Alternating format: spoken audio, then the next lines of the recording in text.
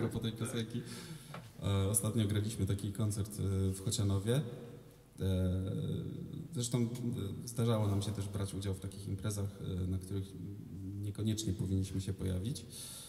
To znaczy jakieś festyny, takie jakieś tam dziwne. Różnie bywało. To znaczy, że na przykład przed nami gra zespół Disco Polo i i później wchodzimy my albo, albo na odwrót. Także reakcje publiczności też są różne. E, No i wiadomo, jak gra Disco Polo, wszyscy się świetnie bawią i nagle wchodzi pudełko zapałek na scenę. Jest taka chwila konsternacji, chwila takiego zaciekawienia, ale na zasadzie takiej, co, co to jest? Jakaś trąba jerokońska. W ogóle. O co chodzi, co się dzieje? No a później jest y, taki stopniowy spadek y, zainteresowania, y, który dochodzi wręcz później do całkowitego braku zainteresowania.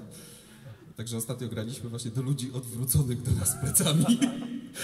I właśnie graliśmy tę piosenkę i po prostu w momencie, kiedy śpiewałem, wyrzec słowo, by stwierdzić, że głos jest krzykiem i nikogo to nie obchodzi. Zaczęliśmy się śmiać.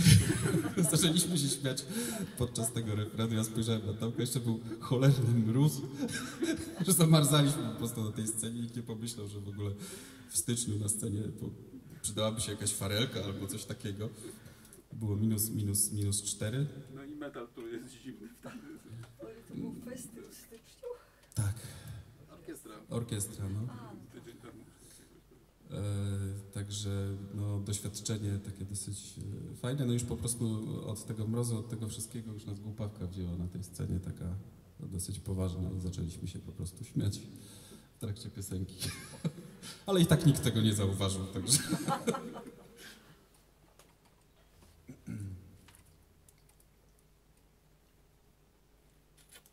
Jak wychowałem w orkiestrze dętej, e, którą prowadził pan e, przedwojenny, który dużo, e, jakiś czas spędził w Dachau i grał w orkiestrze, która witała gości, że tak powiem. Opowiadał o tym, że czasami gra, kazano im grać w takim mrozie, że odkładając trąbkę opuszki zrywał i zostawały na klawiszach. To kiedy mówiliśmy, że jest nam zimno. Więc już nikt nie, nie śmiał nawet powiedzieć, że jest mróz i, i że musimy grać. No tak. Dobrze. Teraz będą dwie piosenki takie w, właściwie napisane w